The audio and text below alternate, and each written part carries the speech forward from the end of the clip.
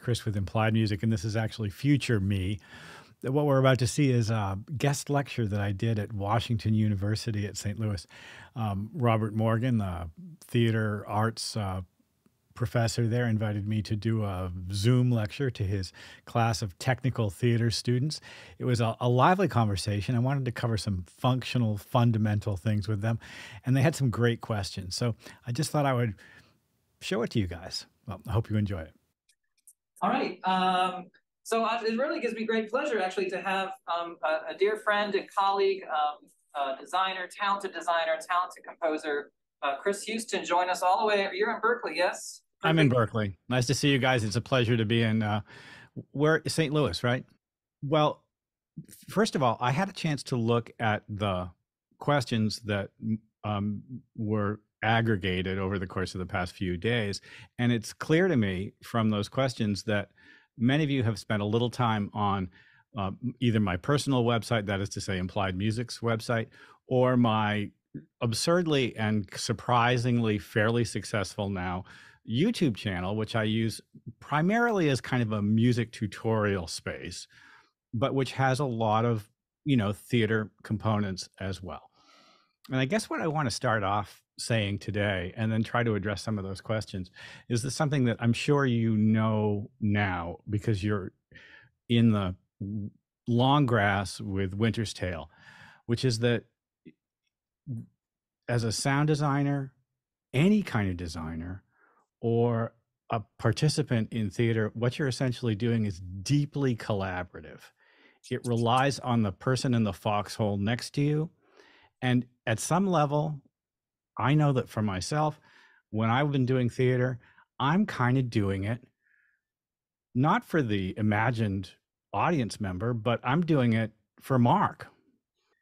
We did Streetcar, right? And so Streetcar Named Desire is this kind of like oh. energizing, kind of beautiful um, play that just there's a million ways to to tackle it. And I didn't exactly know what to do. And one of the first things that happens in a in the first design meeting is you you you come in and and see a, a set mock-up a small model and previous to that moment i hadn't really you know hadn't really understood what was going to be happening and for me and then when i saw that model it all just sort of came together it's crucial to rely on the input from designers directors and everybody on the you know who's got boots on the stage there. Um, the lighting designer sits right beside you when you're the sound designer in a show and you you, you better get along. Because I have to add that it, it goes both ways. When we've worked together, you're one of few sound designers that will send me samplings of cues of music you're thinking about, maybe even it's just pre-show music, but right. I turn that on and I work on the project at the same time and it, it, sort of puts you in a mood for the play. It's a truly collaborative art form. It really is. It, it, it's it's collaborative and it's complicatedly collaborative. It's not just like, you know, working together at Kroger's. It's it's it's more like being in a family. I know that for myself, and I'll just talk a little bit about like my earliest theatrical experiences. Uh, you know, I was a you know in musicals when I was a teenager, and and I basically thought of myself as a musician who could act and stuff. And and it, it, for me, I found in theater, and this may be true for you guys as well, a kind of a family that wasn't like my actual sort of family of origin, a family that was perhaps a little more accepting of some of the peculiarities and unique qualities that I had, and I could sort of find my way into a identity that was really powerful. And I think that theater functions that way for us this is kind of all preamble to what does a sound designer actually do. I'd like to tell you briefly like what my process is. So almost any designer's first step is the text. And for most plays, the text is going to be my God. I go to it and I'm looking for a number of things right away. The first set is a sense of time and place. And of course, music and sound can really create that in a way that is efficient and economical. I can um, create a sense of being at the seashore without us having to build a bunch of rocks and water, you know? I can bring in birds or create even a sense of claustrophobic, you know, deep in the crypt kind of energy by just using a small amount of reverb on a stage mic. These kinds of things are very powerful emotionally. And as I go through the script the very first time, I'm taking notes about that. We're also really concerned about the historical precedence of the text itself. So a dramaturg's input on the text, on the history of the author's intent and their background plays a role for me. It really does. We may choose to put it aside.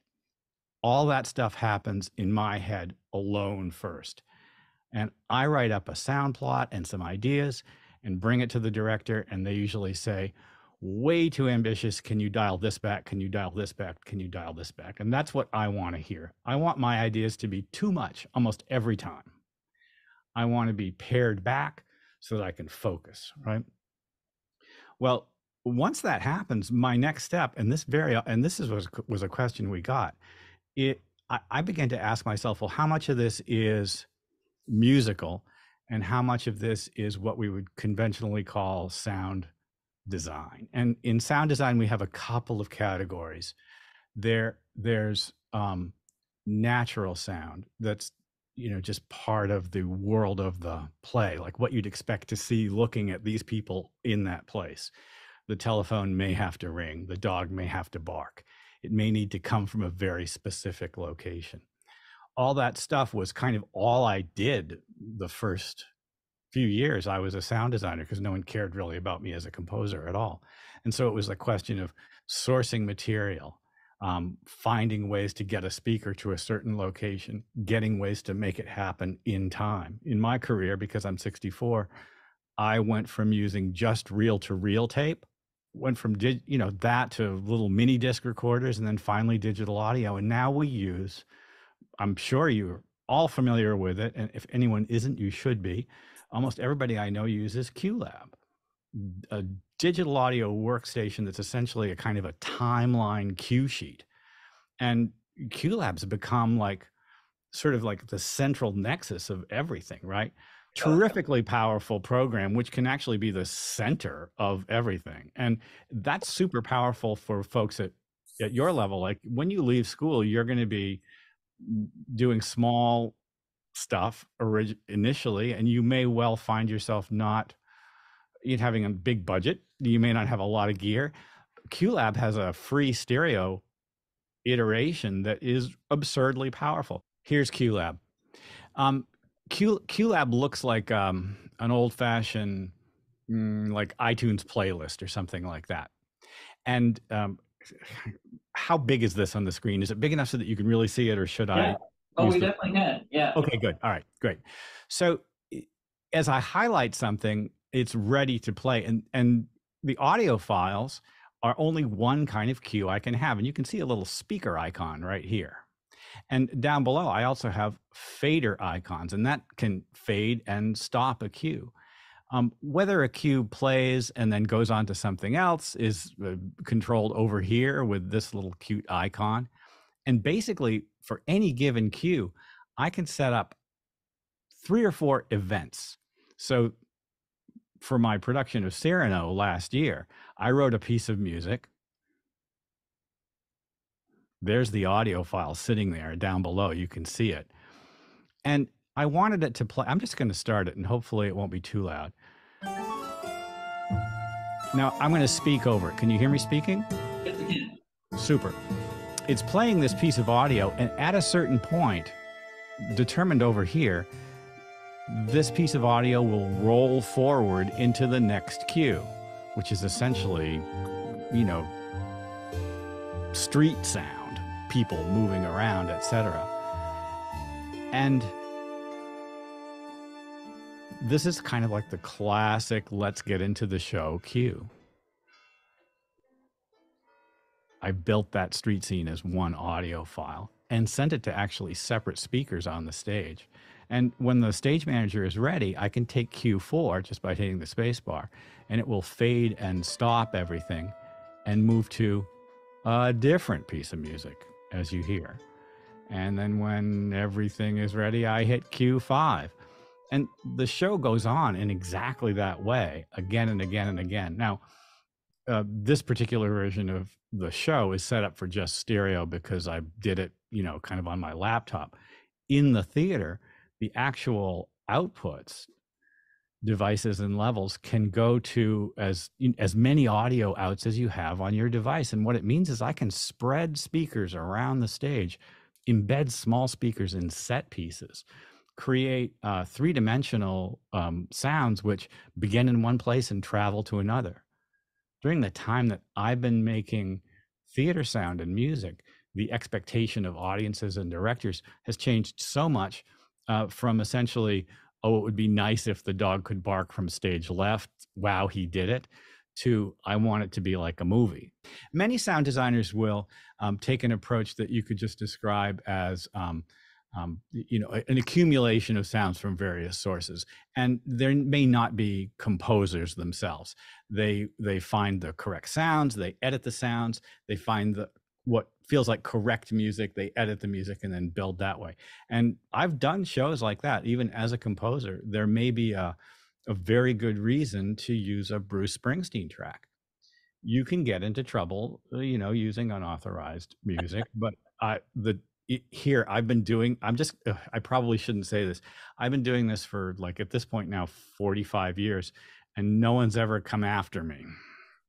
But you know, it could shut a show down. And I, while I don't condone, um, you know, sort of music piracy, I think that there's an argument to be made for a certain amount of fair use in artistic expression. It's become conventional. I, I I'm old, and so I have a different sort of perspective on it, perhaps. And I'm, but I'm conscious that my young stu- my younger students and the folks I work with right now have a much more loose relationship with copyright listen, let me show you another thing because I think it's super useful for us as um, uh, sound designers or anyone working you know, in sound and speaking directly to the idea of a democratized source of stuff. Check out Freesound. So, freesound.org is a resource which, if you don't know about, as a sound designer or just a designer or theater maker, I think you probably should take a look. I actually did a quick search for wash, Wash U right. So i wanted to know what kind of sounds would come up for me. And of course you know most of it is a lot know, of dishes being washed. a lot of dishes being yes. washed exactly. But but the the the remarkable amount of material and it's crowdsourced from designers uh, audio enthusiasts uh, amateurs and professionals all over the world literally the amount of it is really quite remarkable. And these are you know wave files that um, should we just uh, hope for the best and hear what this shaking washing machine sounds like? That's Some good. of them are really great sounding.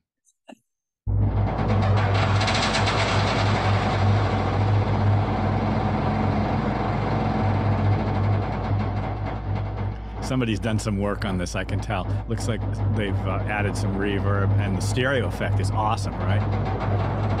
I mean, I got to say, I just love that. Thank you so much.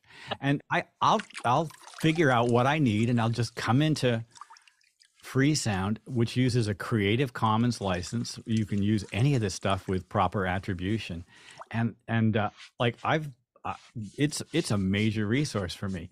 You may, if you wish, spend a lot of money on um, audio effect libraries, and maybe that's the best choice for you, especially if you're doing a uh, a movie or a video piece that has a big budget. But Freesound's incredibly useful for us as theater makers, especially as theater makers at local levels. Jimmy, do you mind if I read your question? Yeah. Um, you said, I love your website design uh, and videos on YouTube. After seeing a few of your videos, which are mainly educational, I was wondering if you will use these not this knowledge to decompose other music you listen to in your daily life. Here's the thing about music.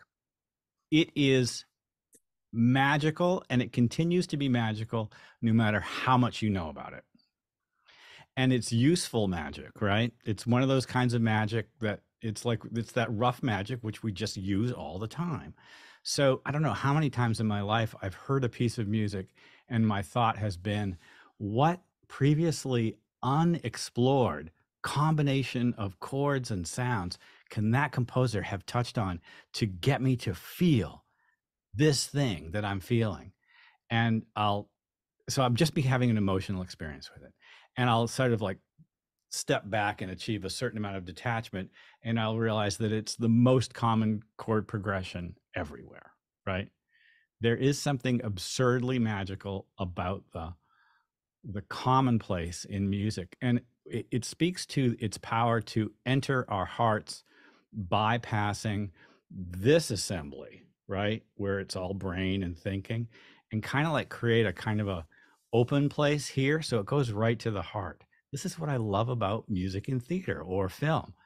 It opens up an emotional corridor, which other designers can use and and which the audience you know may not even be aware of but they're gonna appreciate you know? This is powerful stuff and um it's you know it's it's delightful and it never goes away so even with my intellectual or academic understanding of music I continue to experience the emotional magic of it whenever I sit down into it. You know, it's super powerful stuff. The the language of audio and the sort of emotional experience of audio, because it's kind of not something you can see and don't necessarily think about like in the front of your brain in the theater and video in and picture world and like sort of the film and theater world it has more of a magical quality than uh, uh, costumes or sets that you're seeing. And somehow seeing is a little more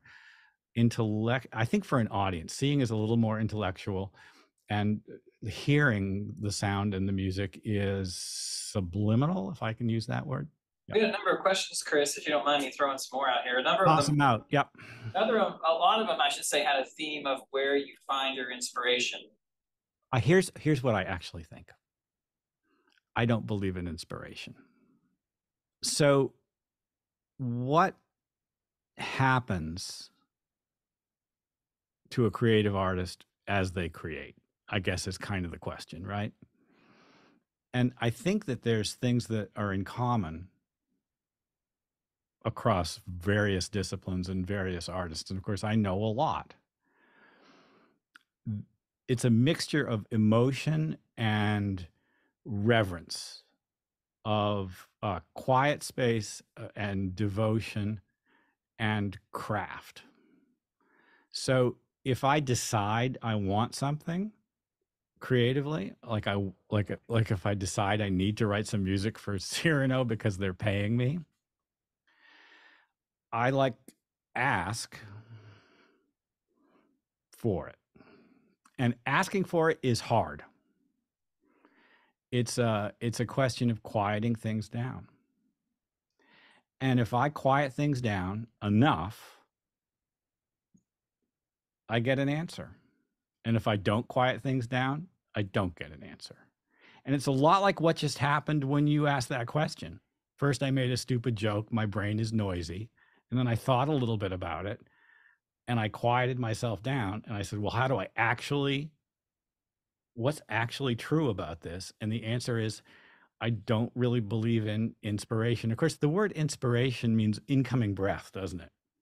So I suppose in some sense, we're allowing that thing to enter. At least I am. Um, here's the thing that you have to do is feed your brain.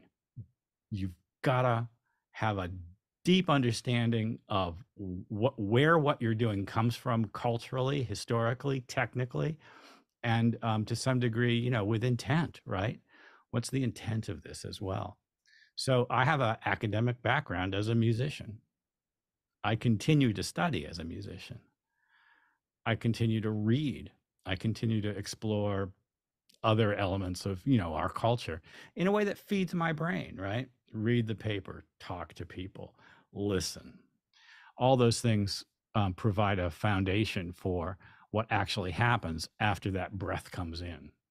Uh, we had some questions about your album Terrain and specific. Oh. Uh, Emily asked a question, and, and, I believe there were a couple. So forgive me if, if uh, you also asked about this, but about sort of that that album and how what what you believe music plays, uh, the role music plays in practices like restorative yoga and meditation.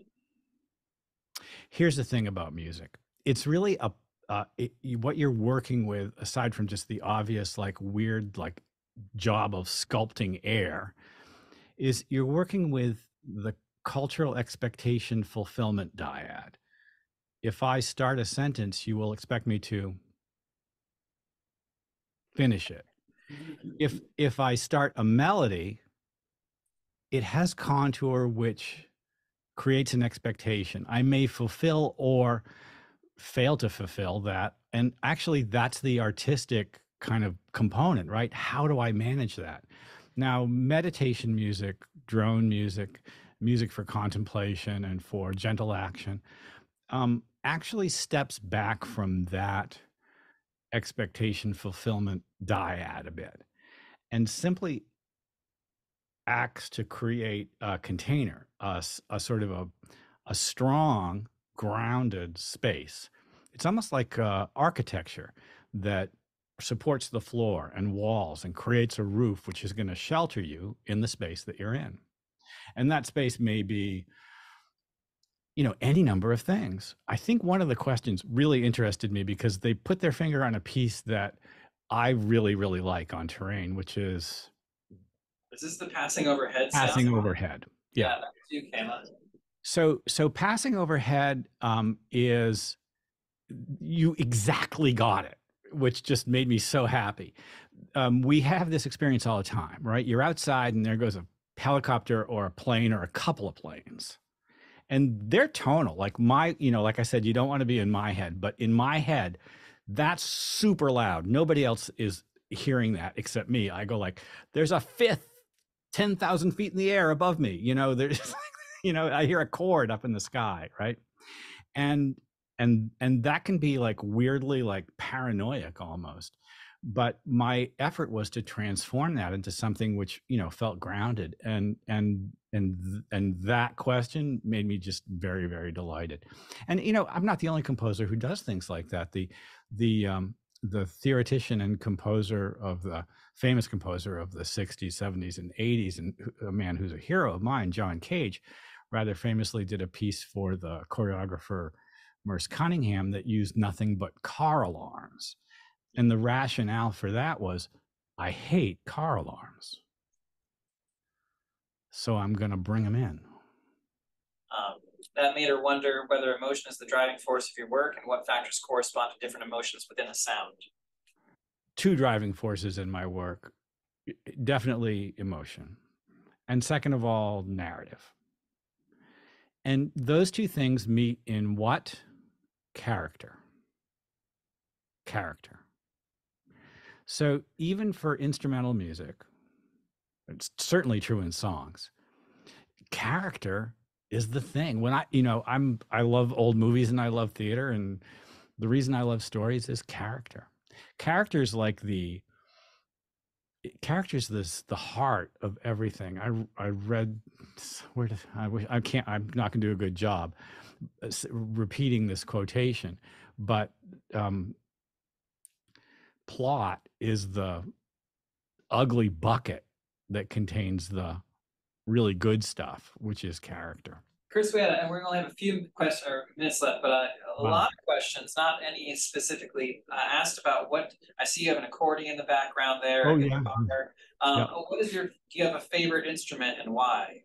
Uh, the voice, for sure. I mean, the voice is the primary instrument uh, culturally across the globe, and it's the first instrument in um, you know like sort of history right and after that of course it's the bones of your enemies and and and and then um and and then everything else you know? Got it. In that order. In that order yeah. Bones of your enemies got it. Thank you for doing this with us today because i um our department, sadly, uh, we have all these areas represented. We have scenic design, costume design, lighting design. We've heard from those to this year already in this class, but but no one here teaches in our department at least uh, composition and sound design. So we're very very grateful to you for spending an hour with us and, um, and, and letting us into your world. If you don't already follow Chris Houston's YouTube page, do it. Uh, Chris, with that in mind, we have some students uh, and a few in this room I know who really kind of get excited about this kind of artistry. Um, what do you recommend they do? Could they follow up with further questions to you directly, or or what do you follow your YouTube page, of course? Anything else? Any advice for them? Well, first of all, I do. I'll welcome uh, any you know specific inquiries or even just you know general support around questions, and and and I I I I guess I'm going to just reiterate that if they're very interested, subscribing to the YouTube channel is. Um, I think it's particularly useful if you're interested in in music and and the kinds of music that we're making now for um, you know, games and video and to, perhaps to some degree theater. If you're genuinely interested in theater sound design, then you've got to get a copy of of uh, you know QLab onto your laptop and just start mucking about with it. And I, I'll just say this: I think sound design is essentially a question of awareness to us to an invisible world and in order to encourage yourself to be aware and kind of constantly monitoring your own reaction to that invisible world is a kind of a tricky challenge. But if you can put that challenge to yourself somehow, perhaps it's by, you know, just a bracelet of, of something that reminds you, or a pin that you always wear, or a tattoo. The just that reminder to be aware of it is going to begin to enliven you know your thinking about it um, daily practice of anything is the path right so uh, i know that there are many demands on your time but if you're genuinely interested in it make a little space every day to explore it um, Chris, thank you, thank you, thank you for joining us today, and uh, and uh, we'll see you all Thursday. All right, thank you, Chris. Thanks. Bye, everyone. Bye bye.